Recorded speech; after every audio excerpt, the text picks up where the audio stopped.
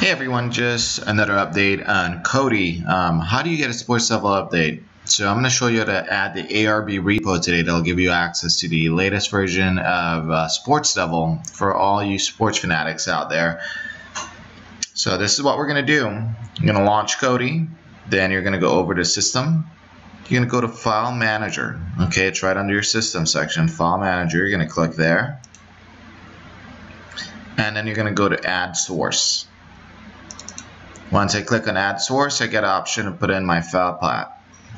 So I'm going to click here. You're going to get a pop-out keyboard. And this is what you're going to type in. Okay. You might want to pause the video here so you can just type in exactly what you're seeing on your uh, YouTube screen.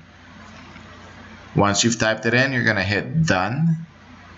So we're going to go down to done once it's typed in. And then you're going to be asked to put in a name for the repository. You can name it whatever you want. I'm going to name it ARB Sports Devil. But keep in mind, you can name it whatever you want. Just remember what name you gave it. Once I'm you done uh, giving it a name, you're going to hit done, and then you're going to hit OK. Okay. Once that's done, you're going to hit return in your remote. So you can go back to the Kodi home screen, which is the screen we have all your shortcuts. Now you're going to go again to System, and then you're going to click on Settings. After Settings, you're going to click on Add-ons. And after Add-ons, you're going to click on Install from zip file.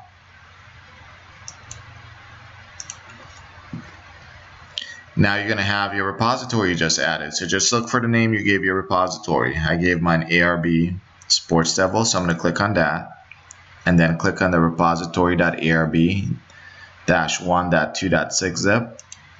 Once I click on that, on the bottom right, it should give me an indicator it's installed. The ARB repo add-on enabled. There you go. After you get that indicator, you're going to go to install from repository. It looks like it's updating already. Okay, let's wait for that update to take place. Okay, so it automatically updated my Sports Devil for me. But if you don't have Sports Devil installed, what you would actually do would look something like this. Install from repository, go to ARB repo, go to video add-ons, and you'd click Sports Devil and you would click install. Here it's giving me an option to update because I've already uh, installed it. So let's go take a look at Sports Devil now and make sure it works and you can also verify your version. So under video, click add-ons. I'm going to go down to Sports Devil.